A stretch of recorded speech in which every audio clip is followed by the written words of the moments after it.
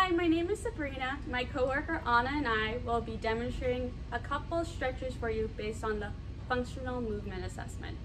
If you scored a 2 or less on the active straight raise, we recommend these stretches. The purpose of both are to reduce your risk of low back injury and pain.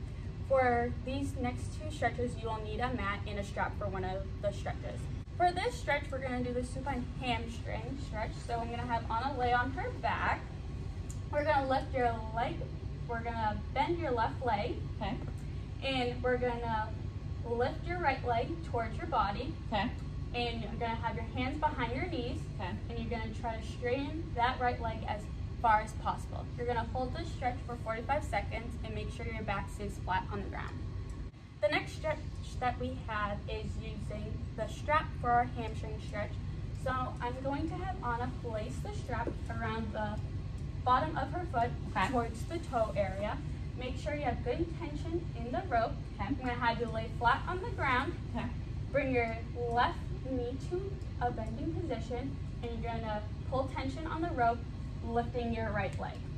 So you're going to lift up your right leg as far as possible without causing pain. And you're going to hold the stretch for 45 seconds. Then you'll switch legs.